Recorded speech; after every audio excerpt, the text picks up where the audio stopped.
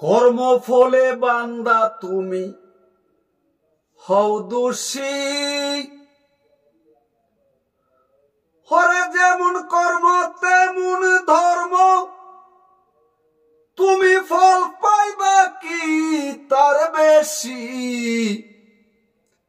ওরে কর্ম ফলে বান্দা তুমি। হও দোষী।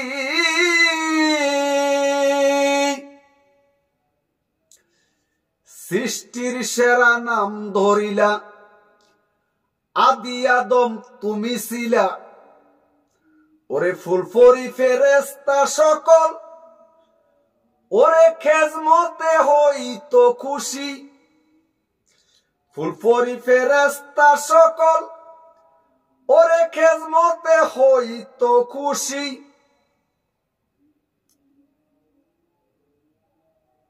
কর্ম ফলে বান্দা তুমি হও দোষী। ওরে সৃষ্টির সেরা নাম ধরিলা, আদি আদম তুমি ছিলা।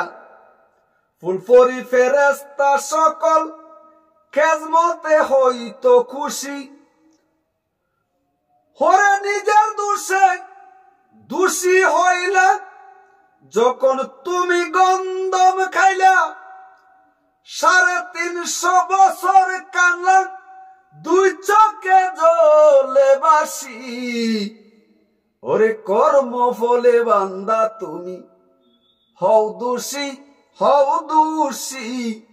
কর্ম ফলে বান্দা তুমি, হও দোষী। যেই দিন আদম গন্ধম খাইল বেস্তের দরজা বন্ধ হলো কার হুকুমে কে খুলিল? ওরে আমারে কইরা দোষী। যেই দিন আদম গন্ধম খাইল, ভেস্তের দরজা বন্ধ হলো। কার হুকুমে কে খুলিল? ওরে আমারে কইরা দোষী।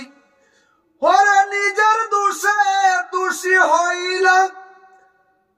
যখন তুমি গন্ধম খাইলা সাড়ে তিনশো বছর কানলা হরে দুই চোখে জলে বাসি। কর্ম ফলে বান্দা, তুমি হও দোষী হও দোষী। কর্ম ফলে বান্দা, তুমি হও দোষী। না মানিয়া হুকুম আল্লাহ তাই তো আদম হও গুনাঘার ওরে ভালো মন্দ যা করো তার, ওরে ফল পাইবা কি তার বেশি?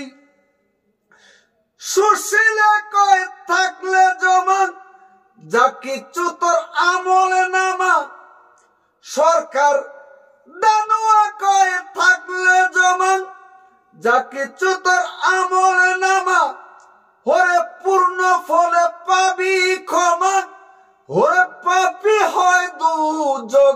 যোগবাসী কর্ম ফলে বান্দা তুমি হও দোষী।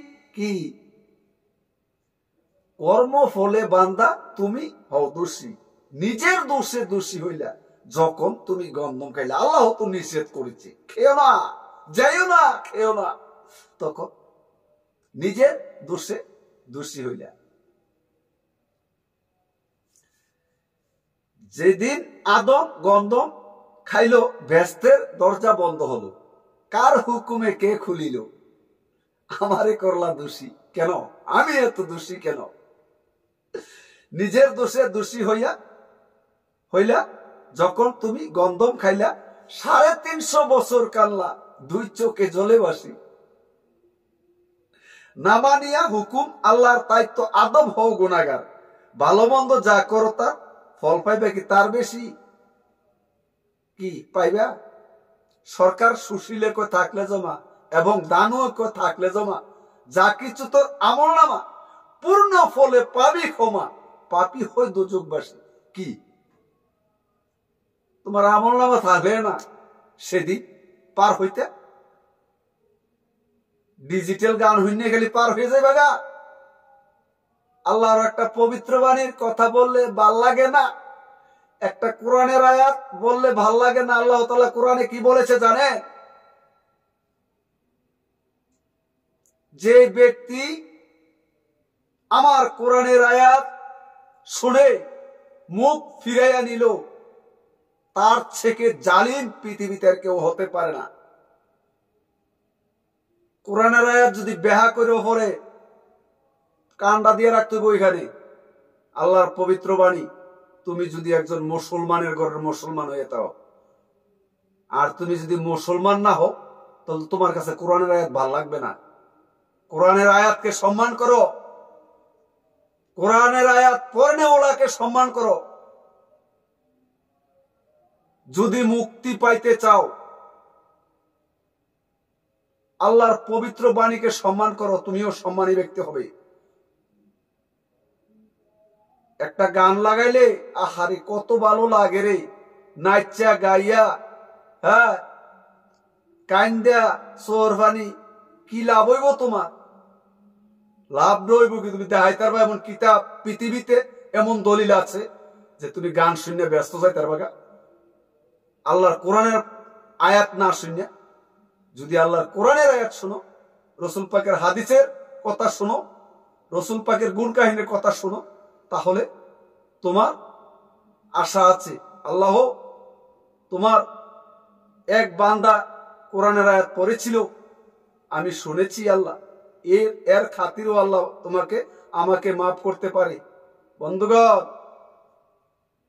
সময় হাতে নাই। চিন্তা করো, গান করো না, সমস্যা কি? তুমি শিল্পী পেটের দায়ে গান করবা, সমস্যা কি? তুমি তোমার আল্লাহর পবিত্র বাণীকে সম্মান করো। পবিত্র বাণী পর্নেওয়ালাকে সম্মান করো যদি তুমি মুসলমান হয়ে থাকো